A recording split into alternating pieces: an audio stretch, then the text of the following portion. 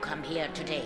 Well, y- Your Highness, I I mean, Your Grace. Okay, oh, gang, check out this piece of work. The reason This is am Yzma, the Emperor's advisor. on your taxes. Living proof that dinosaurs once roamed the Earth.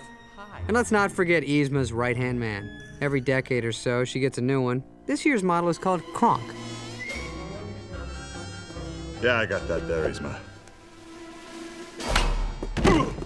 Yep, that's Kronk. Now, lately, Yzma's gotten into this bad habit of trying to run the country behind my back. And I'm thinking, that's gotta stop. It is no concern of mine whether your family has. What was it again? Um, food? Ha!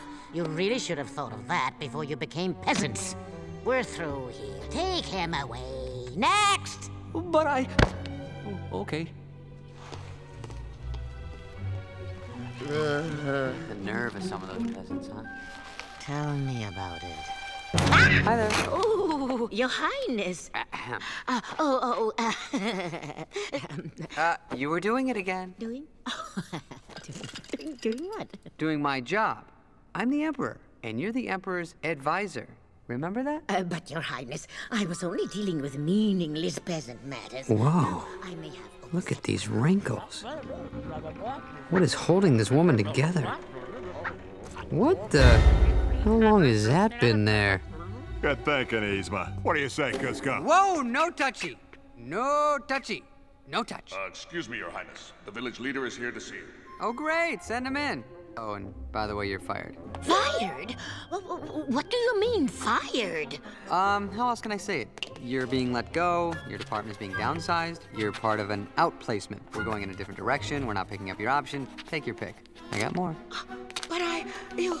Uh, uh.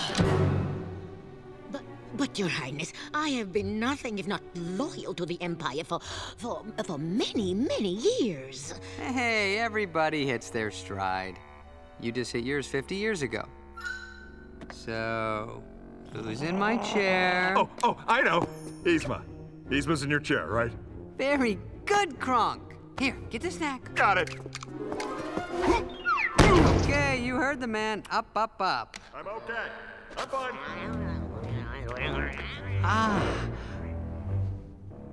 Okay, show him in.